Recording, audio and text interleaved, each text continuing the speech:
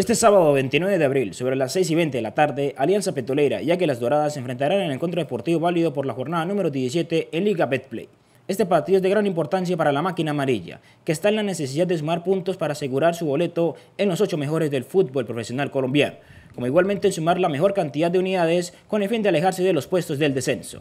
En esta ocasión, la escuadra dirigida por Uber Boer deberá plantear un partido estratégico no táctico y de gran inteligencia en las dos áreas, porque el rival que tiene al frente es un equipo que a lo largo del campeonato ha basado su propuesta de juego en tenencia de balón, con ampliación táctica en presión tras pérdida de la esférica, donde será importante para el equipo orinegro ser efectivo en las presiones en bloque medio, alto y bajo y contundencia en el tercer tercio del terreno de juego. Alianza Petrolera se ubica parcialmente en la tabla de clasificación en la quinta casilla con 24 puntos, mientras que el equipo alavesita, dirigido por Lucas González, es el líder del campeonato con 32 puntos y ya clasificado a las instancias finales. Pero en materia del descenso, los petroleros están en la séptima posición con 1.15 unidades. Esperamos que el equipo barranqueño pueda sumar un resultado positivo en su localía, mediante un buen rendimiento colectivo en materia de juego, con el fin de que sume más unidades en la tabla de posiciones y en los puestos del descenso.